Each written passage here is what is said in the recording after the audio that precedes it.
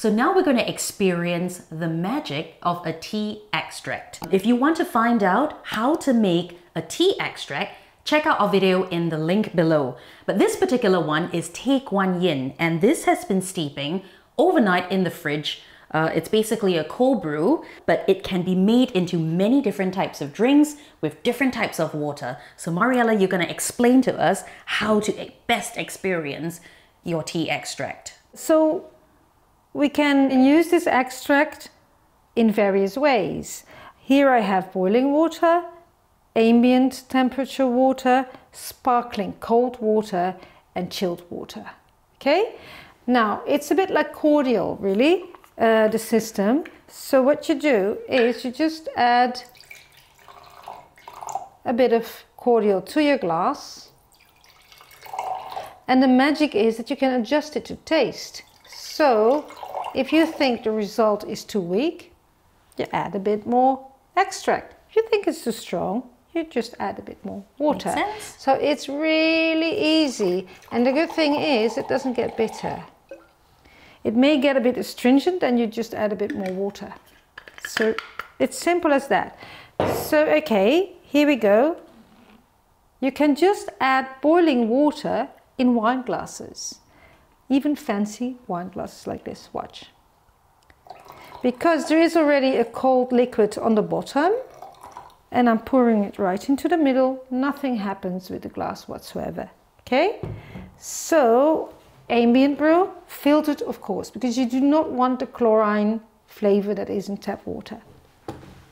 Except of course, if you really like the chlorine flavor, by all means, use your tap water, whatever you like. Okay. Oh, can you open of this? Of course. I have a very bad wrist. Sparkling water. And then I would like, look at that, that's beautiful. It almost looks like champagne. Exactly. If you, if you serve this in a flute, mm -hmm. it actually does look like champagne. And then we have the chilled water. Also, of course, filtered water. Here you go. Is this about the same amount? Yeah. Yes, it is. Yeah. Okay. Now I would like you to try. All Choose. right, so let's see which one catches my fancy. So I'm sure they bring out different notes given the temperature is different in each, isn't it? So this one is the one that's made with filtered chilled water. So let's exactly. take a sip. And mm. let me hmm. know if you need more water or more extract. Oh, it's it's beautiful.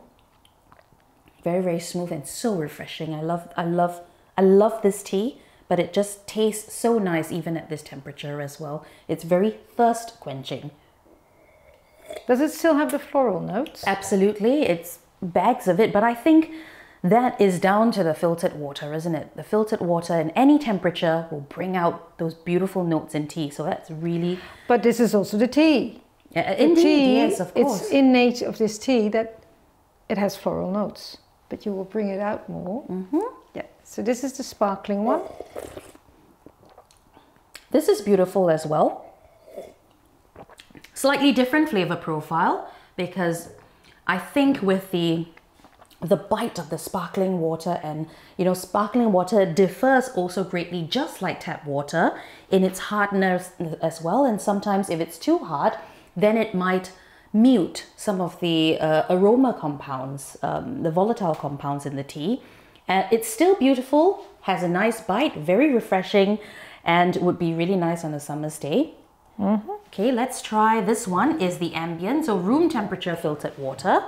So let's see. Also really, really nice. Quite similar to the chilled in its, uh, in its experience. Last but not least, and I'm glad I tasted this last because I think in a warmer temperature, tea just gives off this absolutely um, full notes on the nose, isn't it? Especially when you sniff it before you sip.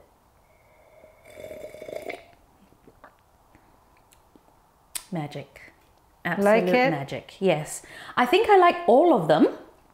Different occasions, different times, same tea, but different experience. So, love the concept of the extract. It's so simple to do, and best part about it is you can decide at that moment how you like to drink it so simply.